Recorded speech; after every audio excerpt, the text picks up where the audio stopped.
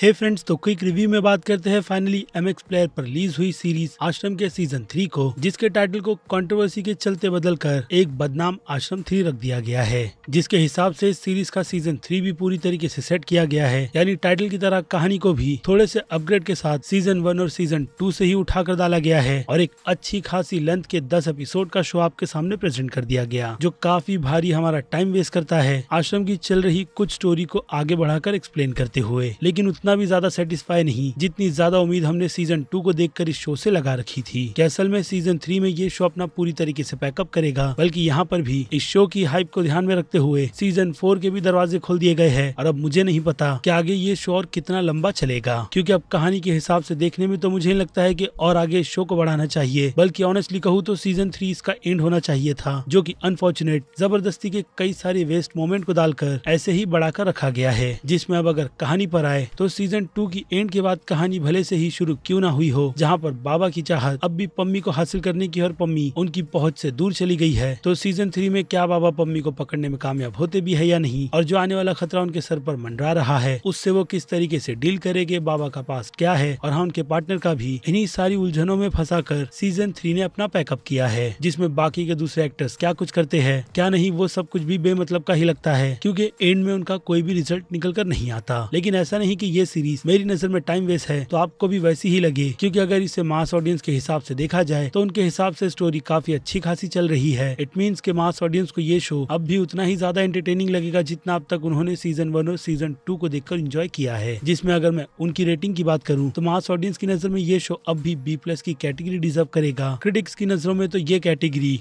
अब सीधे इस शो को सी प्लस की कैटेगरी में लाकर खड़ी कर देगी, जिससे एग्री करते हुए मैं भी सीरीज़ को सीधे सीधे सी की कैटेगरी में रखूँगा। क्योंकि जो कुछ भी चीज़ें इस सीरीज़ में काफ़ी ट्विस्ट एंड टर्न्स के साथ दिखाई जा रही है, वैसी चीज़ें मैंने पहले भी बहुत बार बॉलीवुड में बनती हुई देखी है। यानी ट्विस्ट एंड टर्न्स मेरे लिए तो बिल्कुल भी नए नहीं है और न ही ये इवेंट जिस बारे में पहले ही मैंने न्यूज़ और आर्टिकल्स में बहुत कुछ पढ़ रखा है। बस अच्छी बात यह है की उन्हें इस सीरीज़ में बहुत ही अच्छी तरीके से पिक कर कर लोगों को एक अच्छा एंटरटेनिंग शो प्रोवाइड किया जा रहा है, जो फ़िलहाल तो मेरे लेवल का बिल्कुल भी नहीं। क्योंकि अब इस वजह से आश्रम के सीज़न फोर को लेकर मेरा इंटरेस्ट पूरी तरीके से खत्म हो चुका है। बाकी बात रही परफॉर्मेंस की तो बॉबी देवल अपने रोल में अभी भी उतने ही ज़्यादा अच्छे लग रहे हैं जितने वो इसके पहले के दो सीज़न में लग रहे थे। इनके अलावा बाकी जितने भी कैरेक्टर्स हैं, चंदन रॉय के भोपा को छोड़कर तो वो सभी के सभी स्टूपिड ही है। क्योंकि उनके पास जैसे कि मैंने कहा, करने के लिए इतना ज़्यादा कुछ भी नहीं है। रीजन है बाबा के सामने उनकी सारी की सारी चाले हर बार उल्टी ही पड़ती है। बाकी अब अगर इसके सीज़न फोर में कुछ अलग और काफ़ी ज़्यादा ट्विस्ट एंड टर्न्स नहीं प्रेजेंट किए गए तो ये शो अपना पूरा दम शायद से उन ऑडियंस की नज़रों में भी खो देगा, जिनकी नज़र में सीज़न थ्री अब भी एक अच्छा खासा टाइम पास का शो है। जिस कारण से तो मैं इस शो को आपको वन टाइम वॉच की ही देखने की सजेशन दूँगा। खास करके तब जब आपने इसके पहले के दो सीज़न देख रखे हैं तो वो भी थोड़ा थोड़ा क्योंकि बेंच वॉच करने जैसा ये शो मुझे तो बिल्कुल भी नहीं लगा है। बाकी सीज़न वन और सीज़न टू की तरह आप इस शो को फैमिली के साथ बैठकर नहीं देख सकते। इसके अलावा मर्ज़ी आपकी है, क्योंकि मेरा सजेशन मैंने आपके सामने रख दिया है, जिसे लेकर आप मुझे कमेंट करके बता सकते हो। क्योंकि अब वक्त है वीडियो को यहीं पर खत्म करने का। मैं हूँ अज़ीज़, मिलूँगा आपसे जल्द ही दूसरी किसी वीडियो में। Till then